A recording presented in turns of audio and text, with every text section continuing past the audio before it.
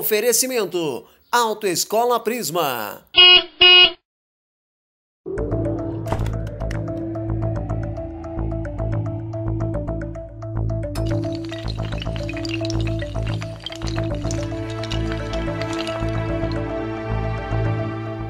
O jornalista Henrique Chaves, que apresenta o Balanço Geral DF, ministrou uma palestra para alunos do curso de Comunicação Social na Faculdade Anhanguera de Brasília.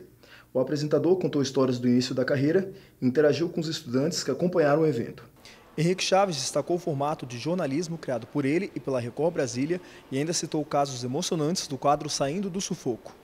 Eu achei uma palestra que agregou tanto em termos profissionais quanto pessoais, e eu acho bem interessante a gente sempre ver aquela figura na televisão pessoalmente, porque a gente tem uma ideia é, distorcida dele.